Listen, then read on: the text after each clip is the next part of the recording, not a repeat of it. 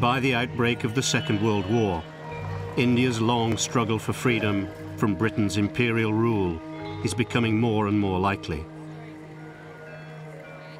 Years of oppression and exploitation may soon be over, and a new but daunting future beckons.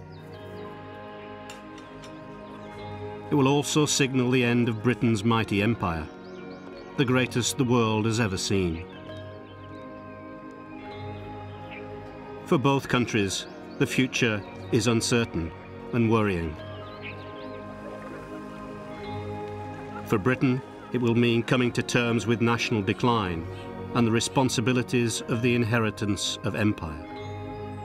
For India, it will mean independence, the fulfillment of Mahatma Gandhi's dream and that of every Indian.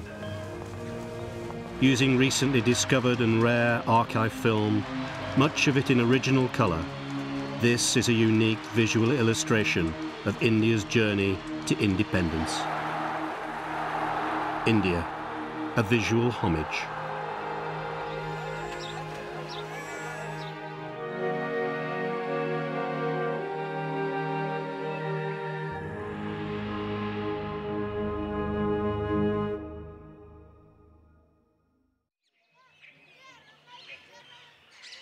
Southwest India, 1938. Deepak Chandrasekhar attended a missionary school near Calicut in Kerala before settling in England after the Second World War. He recalls a childhood full of fond memories. As children, we had very little, of course, at least by modern standards. But my father served in the Indian Army so we were luckier than most.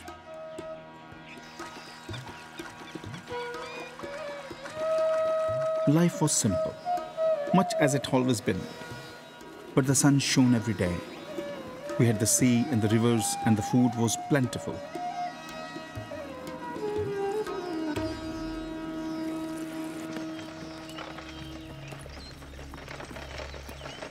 Not like other parts of the country, there they had droughts and famine and thousands died. During the war, there was a huge famine in Bengal when food supplies from Burma were cut off by the Japanese occupation. It was terrible. Nobody knows how many died, but it was more than a million.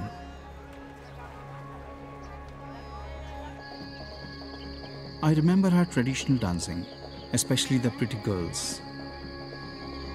Most of our teachers were Indian, and the school had Hindu, Muslim, and Christian children, and most of the time we played happily together.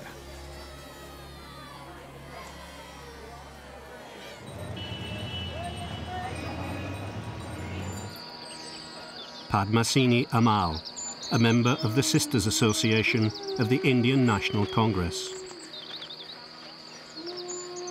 The British are a strange mix. Some are well meaning paternalists who see us as children in need of their help.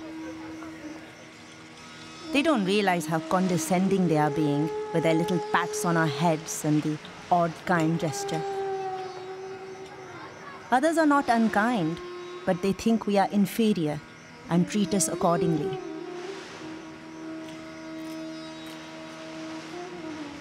A few are simply intolerable brutes who treat us like dogs.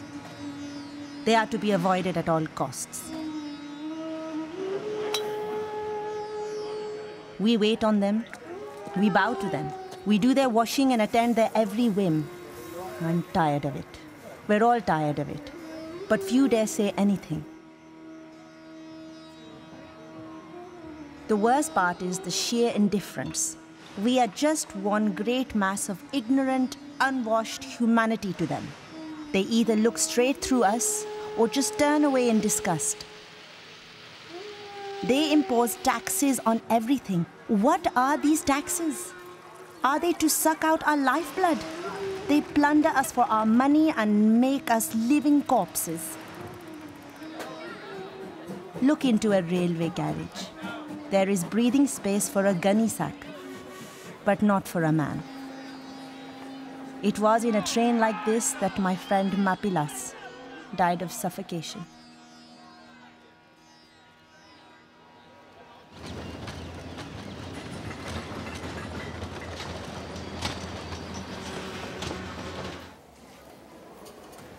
His Excellency, the Most Honourable the Marquis of Linlithgow, has been Viceroy of India since 1936.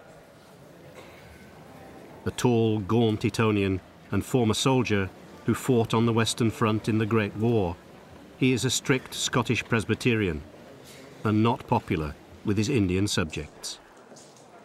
India's leading civil servant, V.P. Menon, has few kind words for him. His seven and a half year regime, longer than that of any other viceroy, was conspicuous by its lack of positive achievement. When he left India, famine stoked portions of the countryside. There was economic distress due to the rising cost of living and the shortage of essential commodities.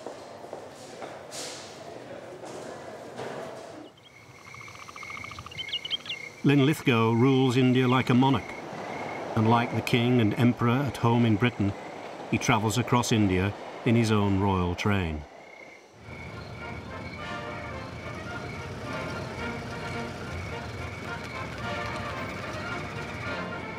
Here he's inspecting the Civic Guard in Bombay on the eve of war.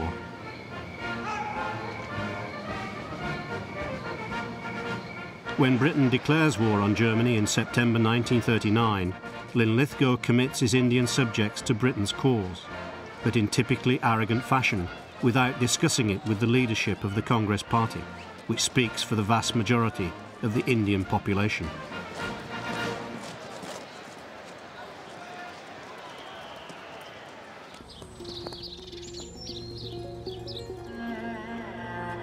Not surprisingly, the Congress leaders are offended by the unilateral inclusion of India in the war and resign from office. They begin a long debate among themselves about how to respond to the Viceroy's affront. Mahatma Gandhi issues an appeal to the world. This war has descended upon mankind as a curse and a warning. It is a curse inasmuch as it is brutalizing man on a scale hitherto unknown. All distinctions between combatants and non-combatants have been abolished. No one and nothing is to be spared. No cause, however just, can warrant the indiscriminate slaughter that is going on minute by minute.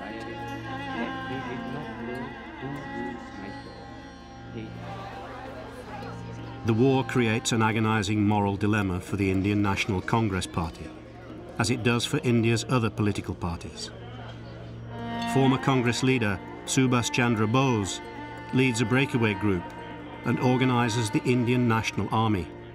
He visits Hitler and with the help of the Japanese will conduct a guerrilla war against the British.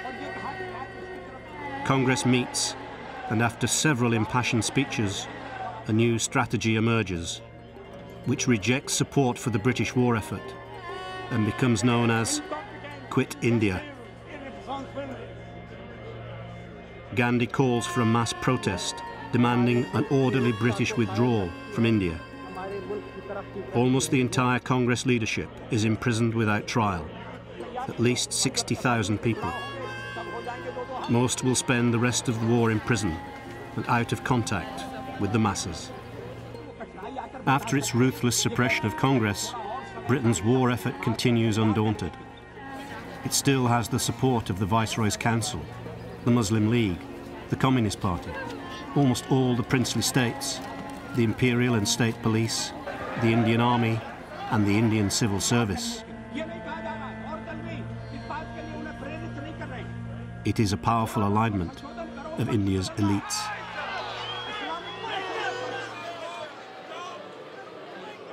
November 1941, a meeting of the leadership of the Hindu Mahasabha, led by its president, the poet and intellectual Vinayak Damodar Savarkar. Although he is a Hindu nationalist and opposes the secularism of the Indian National Congress, Savarkar believes in the unity of India for Muslims and Hindus, and indeed for the whole world. Throughout this world, there is but a single race, the human race, kept alive by one common blood, the human blood.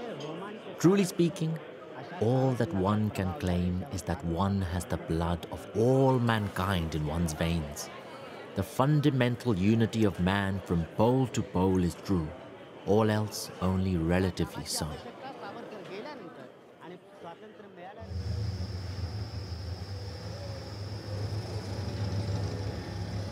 December 1941.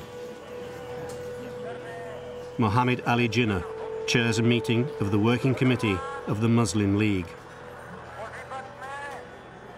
He is an astute and determined man.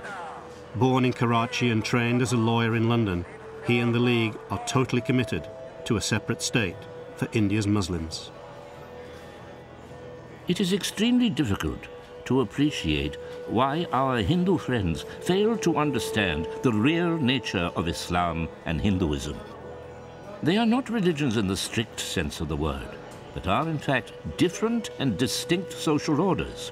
And it is a dream that the Hindus and Muslims can ever evolve a common nationality. And this misconception of one Indian nation has troubles and will lead India to destruction. The Hindus and Muslims belong to two different religious philosophies and social customs. They neither intermarry nor dine together, and indeed they belong to two different civilizations, which are based mainly on conflicting ideas and conceptions. They have different epics, different heroes, and different episodes. To yoke together two such nations under a single state, one as a numerical minority and the other as a majority, must lead to growing discontent and final destruction of any fabric that may be so built for the government of such a state. Jinnah is prepared to support Britain's war effort, but at a price, which is, of course, a land of the pure for the subcontinent's Muslims, Pakistan.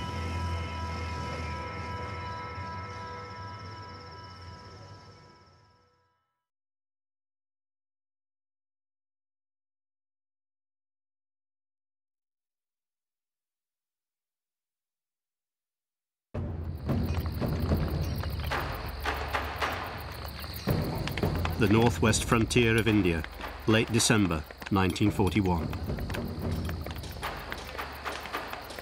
The Indian army is digging in. The Second World War is getting closer and closer to the gates of India.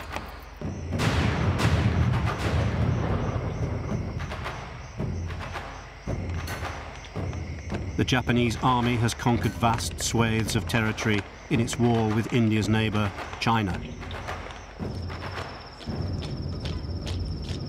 German warships are in the Indian Ocean. The Imperial Japanese Pacific Fleet is about to set sail for the attack on Pearl Harbor. The German invasion of the Soviet Union, Operation Barbarossa, has made dramatic progress. Kharkov, Sevastopol and Rostov-on-Don fallen and the German panzers have reached the outskirts of Moscow and Leningrad. If the Red Army is beaten and the Soviet Union falls, India will be isolated on all sides.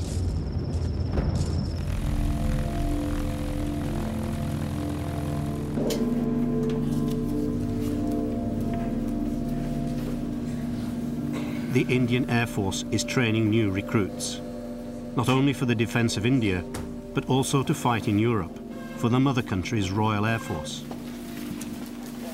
It is deployed against the Japanese in Burma, where its first strike is on the Japanese Air Force base at Arakan, and then later against Mae Hong Son, Chiang Mai and Chiang Rai in northern Thailand.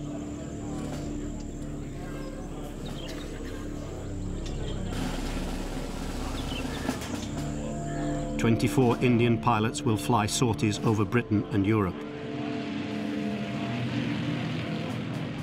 Eight of whom will not return.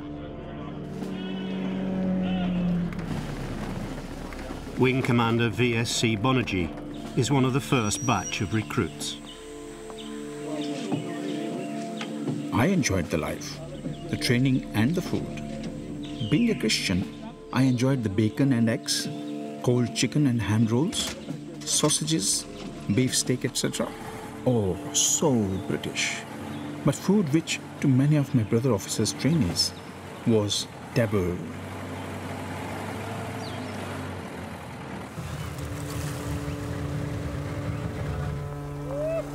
British and American sailors arrive at the Royal Naval Dockyards in Bombay for some shore leave. Their ships are part of the patrols that are trying to protect the transport vessels taking Commonwealth troops to Europe and the Mediterranean. The convoys are under constant attack by the Japanese, German and Italian navies.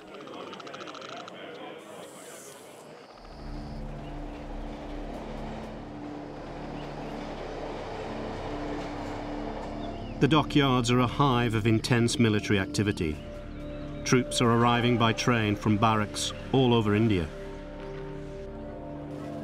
These Indian troops are part of a Commonwealth contingent travelling to the Mediterranean, where they will fight with British, Australian and New Zealand comrades. 1st and 3rd Battalions, 1st Punjab Regiment, and 1st Battalion, 9th Gurkha Rifles are part of the 4th Indian Division. They are to join General Bernard Montgomery's 8th Army in his battles with German General Erwin Rommel's Afrika Korps in North Africa.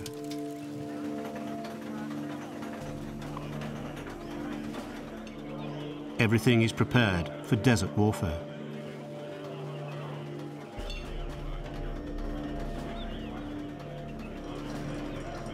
There are even command and medical train carriages designed for a mobile war. The 4th Indian Division will fight in North Africa, Syria, Palestine, Cyprus, and then in Italy. Together with the 8th and 10th Divisions, it will participate in the taking of Monte Cassino, after which it will move to Greece.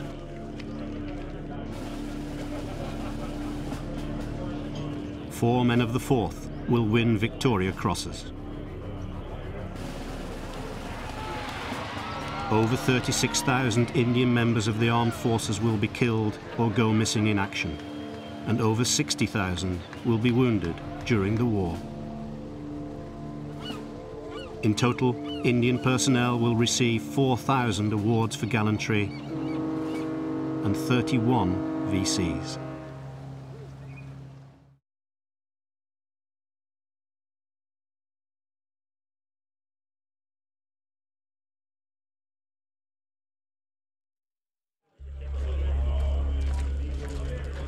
Prime Minister of the Punjab, Sir Sikandar Hayat Khan, arrives in the ancient Punjabi city of Jalandhar to address a large crowd as part of the recruitment drive for the Indian Army. An ally of Muhammad Ali Jinnah and the Muslim League, he also believes in Britain's war effort and campaigns for support.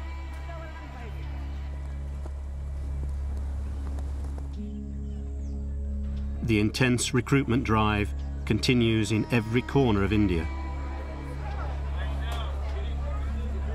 In 1939, the Indian Army numbered less than 200,000 men. By the end of the war, it will become the largest volunteer army in history, rising to 2.5 million men in August 1945. Most of the army is commanded by British officers, but there are opportunities for Indian men, as increasing numbers are promoted as King's commissioned officers, some of whom reach high rank. India's war effort is led by General Archibald Wavell, Commander-in-Chief, India.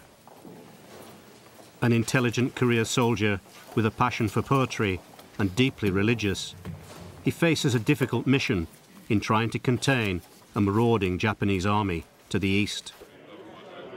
Burma will fall in 1942 as British, Indian and Chinese troops withdraw to Imphal. While within India, he will have to deal with increasing disruption and violence from the Quit India campaign. he will have the support of the Chamber of Princes and its Chancellor, the formidable Digvijay Singhi Ranjit Singhi, the Jam Sahib or Maharaja of Nawanagar. However, the Chamber of Princes is increasingly out of touch with the mounting mood of opposition in the country.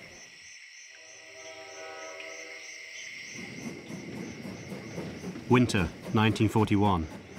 Wardha Station, Nagpur.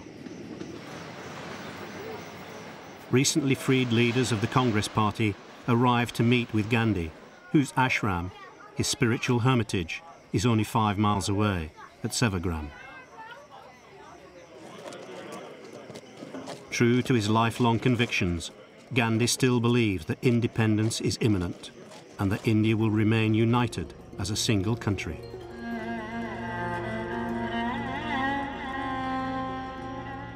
We cannot evoke the true spirit of sacrifice and valor so long as we are not free. I know the British government will not be able to withhold freedom from us when we have made enough self-sacrifice. We must therefore purge ourselves of hatred. In the democracy which I have envisaged, a democracy established by non-violence, there will be equal freedom for all. Everybody will be his own master. It is to join a struggle for such democracy that I invite you today. Once you realize this, you will forget the differences between the Hindus and the Muslims. I beg you, you must think of yourselves as Indians only, engaged in the common struggle for independence.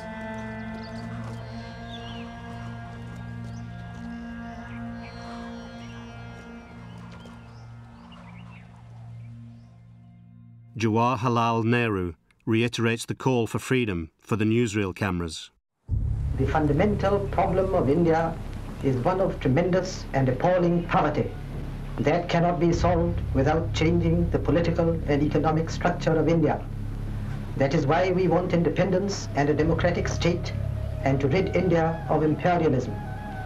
Those who condemn fascism must realize that imperialism is of the same genus and both must go if the world is to have peace, freedom and collective security. Opposition to the war grows. Nevertheless, Indian infantry troops are deployed in the fight against the Japanese in Burma. It will be a long and bloody campaign.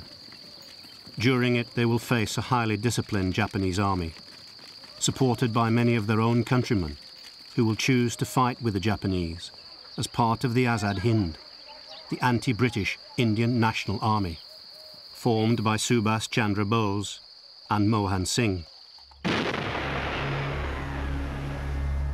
June 1942.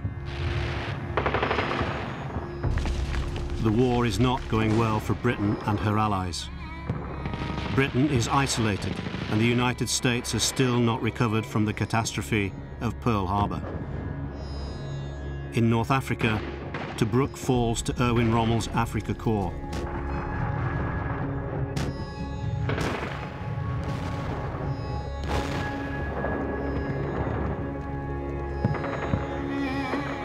In the most humiliating defeats in Singapore, 35,000 British and Commonwealth troops surrender, including men of the 2nd Battalion, 7th Gurkha Rifles, and the 2nd Battalion, 5th Maratha Light Infantry. They face a long incarceration as prisoners of war.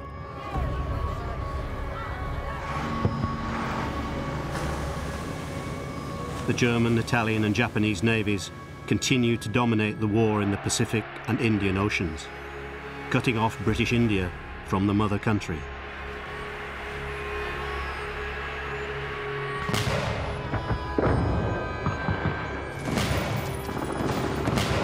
In the Caucasus, German panzers continue their relentless drive eastwards, seemingly unstoppable in their conquest of territory.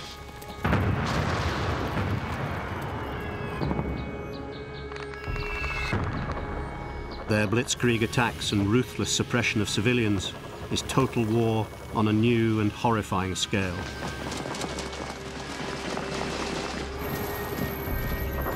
The men of the Soviet Red Army pay a heavy price.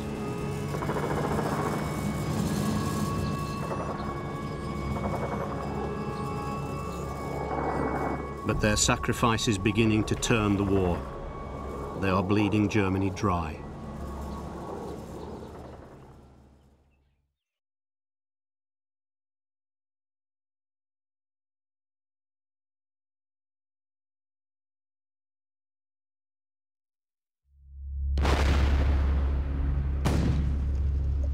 By the autumn of 1944, the Second World War has swung in the Allies' favour. American, British and Commonwealth troops have landed in Normandy.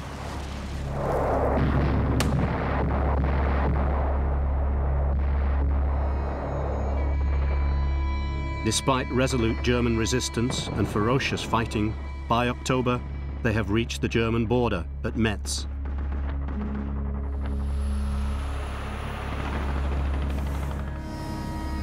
At the same time, the Soviet Red Army reaches the Niemen River in Prussia. The Yugoslav partisans liberate Belgrade and free Greek troops land in Piraeus. They are soon welcomed in Athens as returning heroes.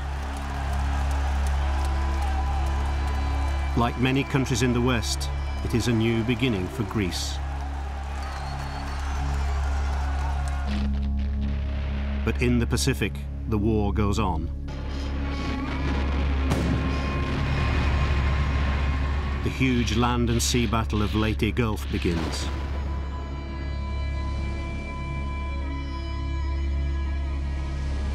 Preceded by an enormous artillery barrage, the amphibious landing begins the liberation of the Philippines.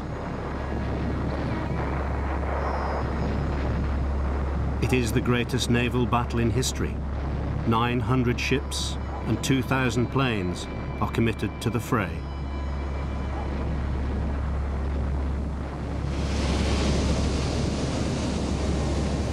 Japan's navy is all but destroyed. With heavy losses on both sides, the United States secures its Philippines beachhead. US General Douglas MacArthur wades ashore at Leyte on October 20th, 1944. He fulfills his promise to the Philippines people that he would return. February 20th, 1945. In India, the war is far from over. Men of the 3rd Queen Alexandra's own Gurkha rifles are in final training for their deployment to Burma, where they will join the battle to push the Japanese out of the country. Captain Harbinder Singh, a platoon commander in the regiment's 2nd Battalion. Our training has been excellent and the boys are ready to go. The Japanese are not frightened by too many things in battle. But they're terrified of us when we've got our kukris between our teeth.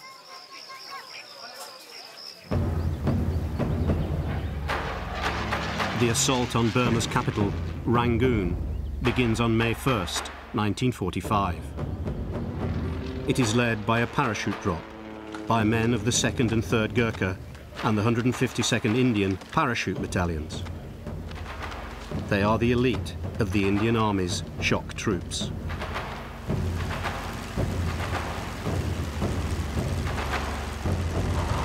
Their objective is to take Elephant Point at the mouth of the Rangoon River.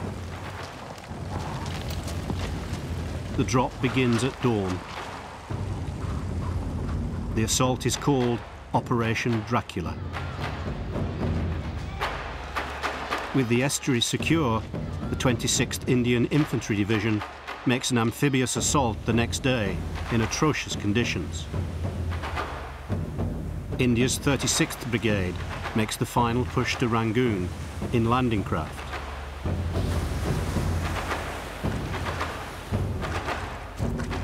The approach via Elephant Point meets only sporadic Japanese resistance from snipers and from men in well-fortified bunkers.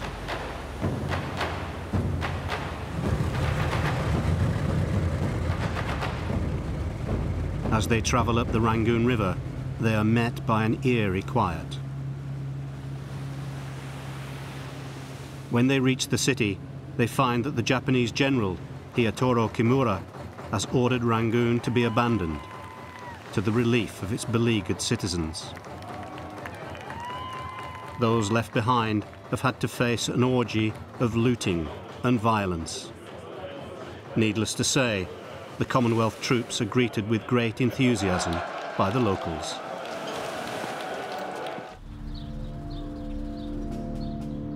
Mount Popa, Central Burma, April 1945. The Japanese army is in retreat as British and Commonwealth troops advance. The Commonwealth troops are looking for groups of the Indian National Army who have been fighting with the Japanese.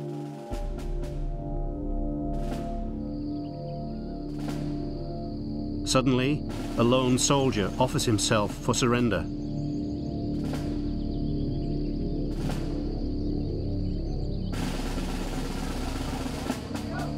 He helps locate his comrades. They soon give themselves up in large numbers.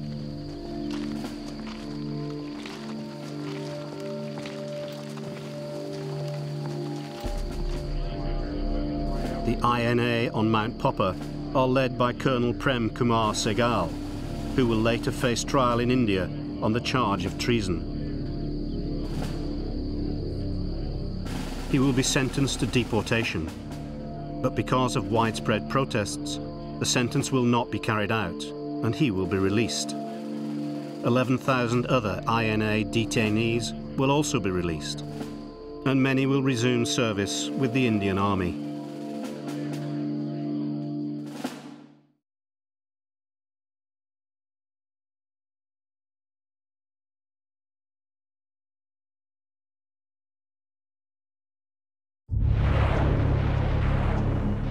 Battle of Tarakan, Borneo, May 1945.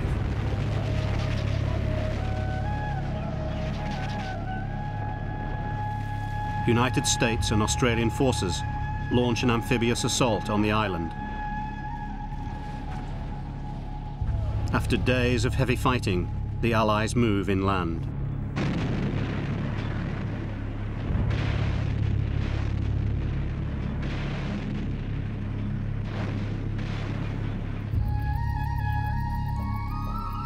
As they do so, they liberate a group of Indian prisoners of war. Men of 2nd Battalion, 15th Punjab Regiment. They are remnants of the garrison which tried to defend Borneo against the Japanese invasion three years earlier. They are in a pitiful state.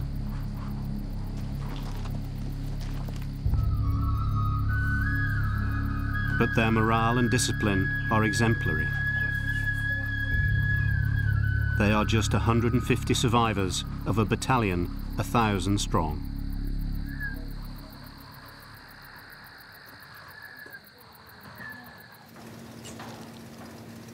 Potsdam, Germany, late July 1945. The victorious Big Three Allied leaders meet to agree the boundaries of the new world order at the end of the war. Although Soviet leader Joseph Stalin is still there, American leader President Roosevelt is dead, replaced by Harry Truman. And Britain's wartime hero and bulwark of the empire, Winston Churchill, has been defeated in a general election. Britain's new Prime Minister, Clement Attlee, will grant India independence.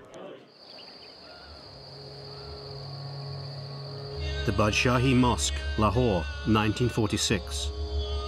Over 100,000 of India's 85 million Muslims are at prayer. Like their countrymen, the Hindus, and people of India's many other faiths, They wait expectantly for the freedom they have dreamed of for decades. Pandit Nehru. The ambition of the greatest men of our generation has been to wipe every tear from every eye. That may be beyond us. But so long as there are tears and suffering, so long our work will not be over. And so we have to work hard to give reality to our dreams. Those dreams are for India, but they are also for the world. For all the nations and peoples, we are too closely knitted together today for any nation to imagine that it can live apart. Peace has been said to be indivisible, so is freedom, so is prosperity. And so also is disaster in this world that can no longer be split into isolated fragments. The prospect of imminent independence is met with eager anticipation by the Indian population. But there are also grave anxieties. Secunda Khan, a civil servant in Lahore, The thought of independence at last is making everyone very excited. Many people thought it would never happen. The British have been here for so long. But there are also doubts. No one says very much, but beneath the surface, there is tension. India has so many problems. Will we be able to cope? There are so many of us with so many different answers. Then there is religion. I have many Hindu friends, but we're terrified of one another. And what will happen when the British leave? Old scores will be settled for sure. And who knows what that will lead to.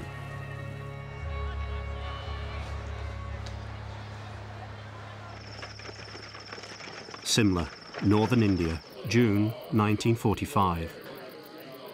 Field Marshal Wavell, who has been made Viceroy, has called India's leaders together in one final attempt to bring the country to independence as a united nation.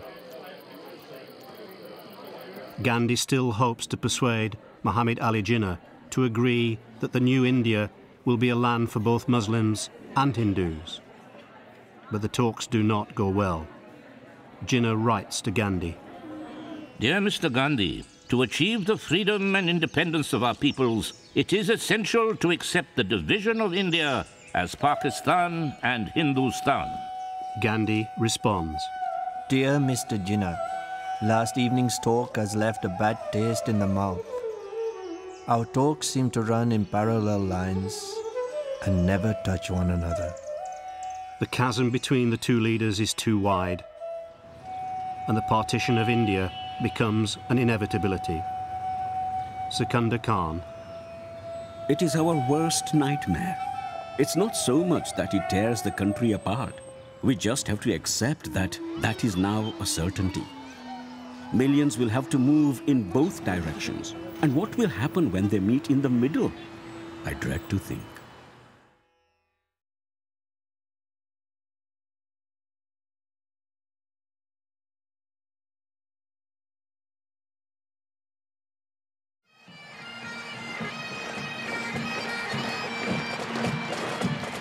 September 12, 1945, Singapore. After the atomic bombing of Hiroshima and Nagasaki in early August, Japan has surrendered. The Second World War is over, and the people of Singapore celebrate and applaud the Indian troops who liberate them from a brutal occupation. Lord Louis Mountbatten, Supreme Allied Commander Southeast Asia Command, takes the salute. He will soon play a crucial role in the future of India.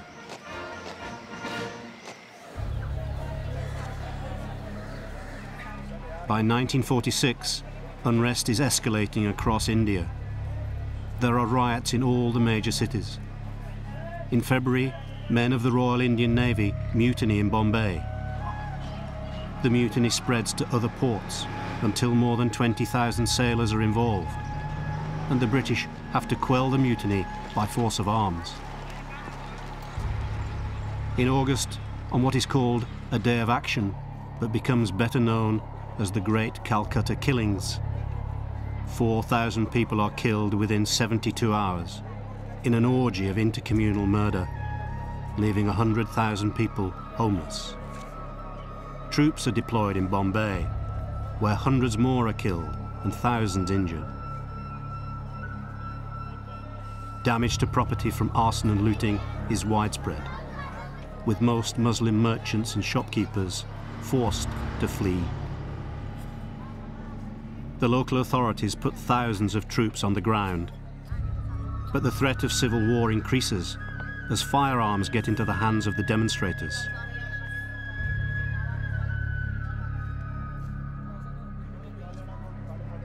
Amita Gupta witnesses the Bombay riots.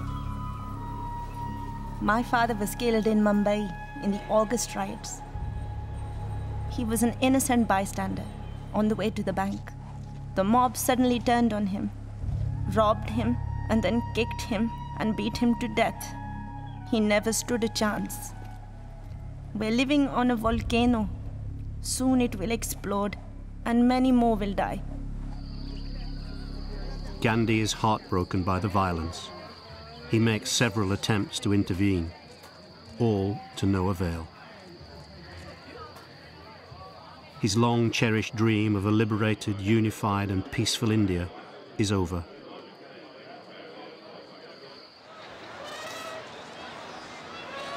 The Festival of Puri, Orissa, 1946. Amidst the turmoil, India's ancient traditions continue.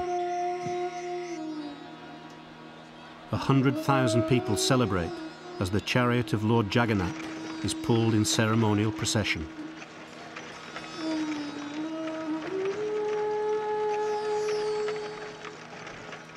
Lord Jagannath lends his name to the word Juggernaut, which means a terrible force that destroys.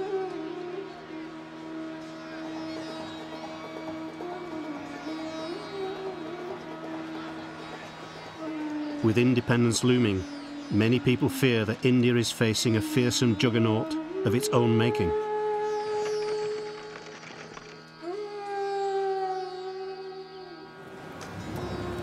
The talking continues between India's leaders and the British government, but with few concrete decisions.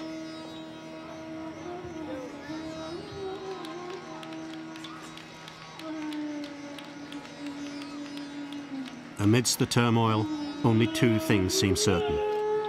That independence is inevitable and that the Raj, the jewel in the crown, will be split asunder as two separate nations.